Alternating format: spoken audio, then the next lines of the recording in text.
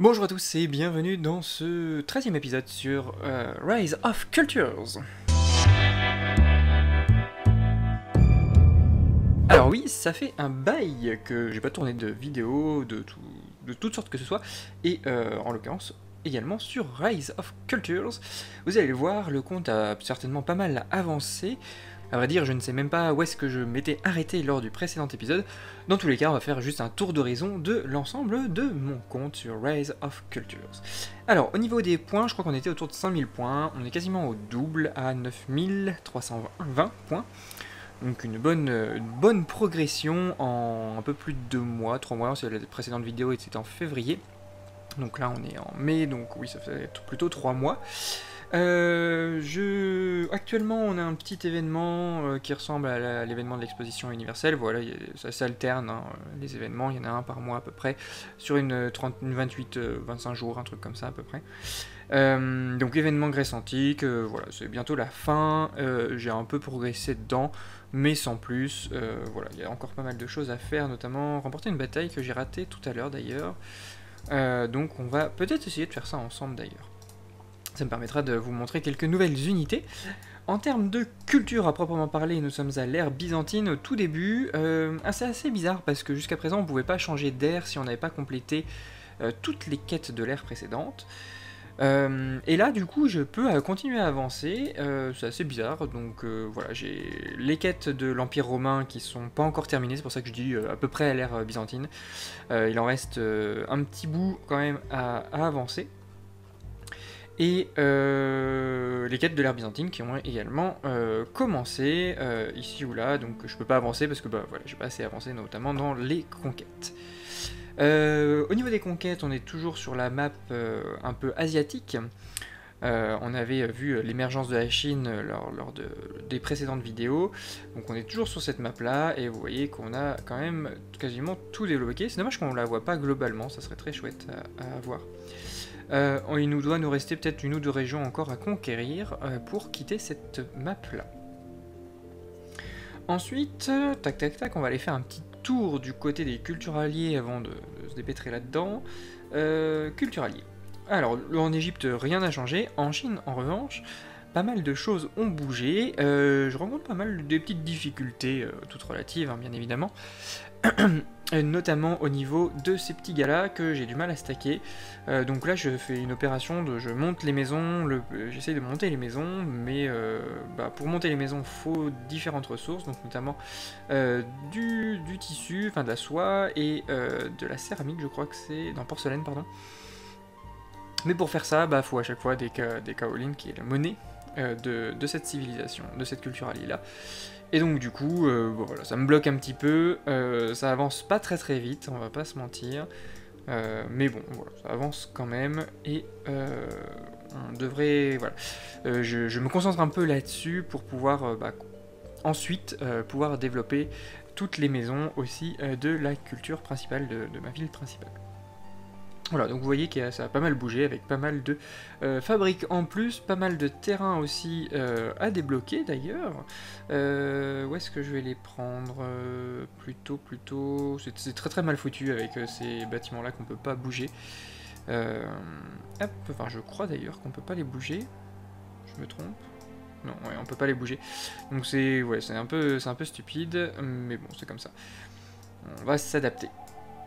Donc du coup, l'optimisation hein, de, l'espace est pas forcément évidente, on verra, parce que peut-être qu'il faudrait que je remette des maisons de ce côté-là ou ailleurs, enfin bref. Il y a pas mal de choses à voir euh, côté euh, culture chinoise. Euh, voilà. Alors, on va aller faire un petit focus maintenant sur la ville principale. Donc pareil, ça a dû pas mal évoluer, ou peut-être pas tant. Il y a ce bâtiment-là qui est en plus, qui permet d'avoir des unités de siège. Donc quelque chose de plutôt, plutôt cool. Euh, on a des bâtiments spéciaux un peu ici, donc euh, voilà, une yourte, etc. Donc c'est tous les bâtiments qui sont un petit peu euh, événementiels. Donc voilà, on les, a, enfin je les ai maintenant ici et ils rapportent pas mal de ressources. hein, si vous regardez, si on regarde un petit peu les ressources, vous voyez. Bah, voilà. Globalement, j'ai rien pour produire des planches, des parchemins et du poivre. Et pour autant, eh bien, euh, j'en ai quand même une bonne quantité grâce aux bâtiments spéciaux. Voilà, voilà. Euh, alors, ce que je vous propose, c'est d'aller faire un petit tour ici dans l'événement en cours. Et on va aller faire la petite bataille, ça va vous permettre de voir les différentes unités. Euh, bah, du coup, on a vu un petit peu les unités d'essayage qu'il y a en plus. Et bien entendu, toutes les autres unités qui ont évolué aux différentes aires. Alors oui, on n'a pas beaucoup d'espace. Euh, donc on va se mettre ça. Donc la dernière fois j'avais mis donc des unités euh, d'infanterie lourde et euh, la cavalerie, ça n'avait pas bien fonctionné. Donc là je vais peut-être plutôt mettre des hop, unités d'infanterie. De.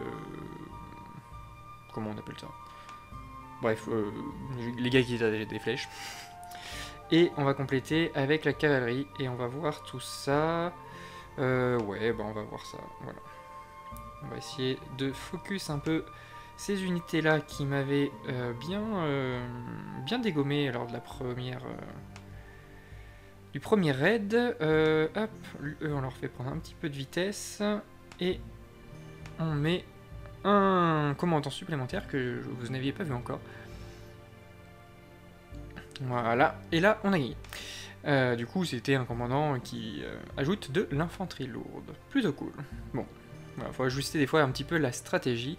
C'est pas forcément évident, mais ça se fait. Alors, du coup, on est bon ici.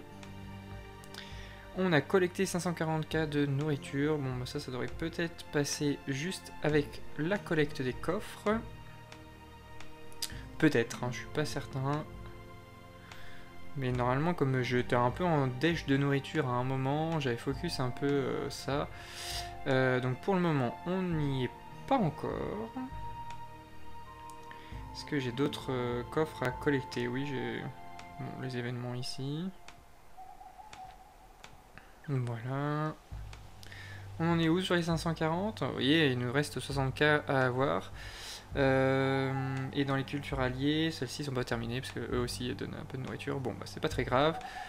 On y était presque, euh, mais euh, c'est une question de temps avant de les collecter. Et je peux toujours aussi faire une petite production. Vous voyez que les,